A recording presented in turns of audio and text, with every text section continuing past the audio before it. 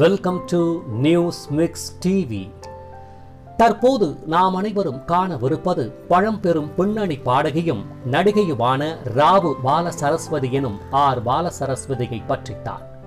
ஆயிரத்து தொள்ளாயிரத்து இருபத்தி எட்டாம் ஆண்டு ஆகஸ்ட் இருபத்தி எட்டாம் தேதி ஆந்திர பிரதேசத்தில் வேங்கடகிரி என்ற இடத்தில் பிறந்தார். இளம் வயதிலேயே அழத்துரு சுப்பையா என்பவரிடம் இசையினை கற்றுக்கொண்ட பால சரஸ்வதி தனது ஆறாவது வயதில் ஹெச்எம்பி இசைத்தட்டில் தனது குரல் இசையை பதித்தவராவார். ஆயிரத்து தொள்ளாயிரத்து முப்பத்து ஆறில் சி. புல்லையாவின் இயக்கத்தில் உருவான சதி அனுஷயா மற்றும் பக்த துருவா ஆகிய திரைப்படங்களில் குழந்தை நட்சத்திரமாக பாடி நடித்தார்.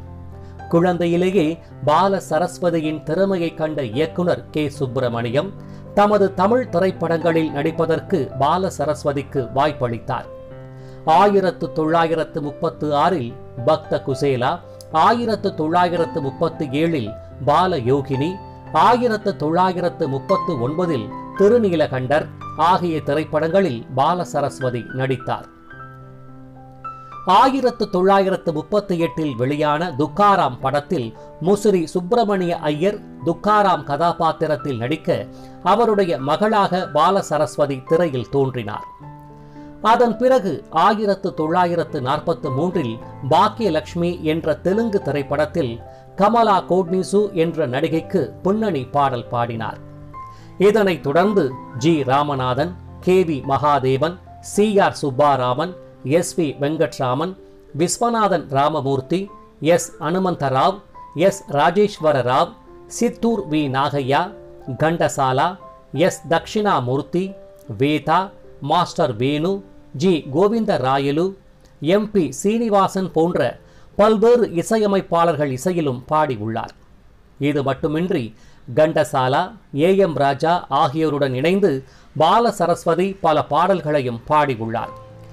இத்துடன் T. M. Soundararajan C. A. Mothi Sirkazhi Govindarajan மற்றும் சி. ராஜம் ஆகியோருடன் இணைந்தும் பல பின்னணி பாடல்களையும் பாடியுள்ளார்.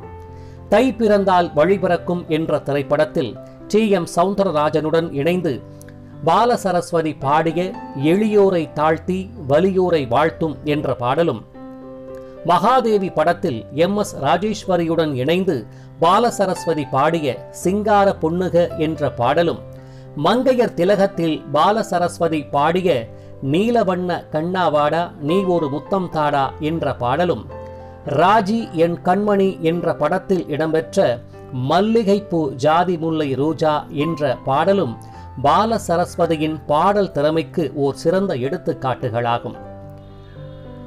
இப்பேற்பட்ட பாடல்களை பாடி தற்போது நிறைவான வாழ்க்கை வாழ்ந்து வரும் அம்மா பாலசரஸ்வதி அவர்கள் நலமுடன் வளமுடனும் வாழ அனைவரும் வாழ்த்துவோம் என கூறி இதுபோன்ற காவிய குரல்களின் வாழ்க்கை குறிப்புகள் மற்றும் சுவாரஸ்ய தகவல்களை தாங்கள் அறிந்து கொள்ள உங்கள் நியூஸ் மிக்ஸ் டிவியை சப்ஸ்கிரைப் மற்றும் லைக் செய்து மற்றவர்களுக்கும் ஷேர் செய்திடுங்கள்.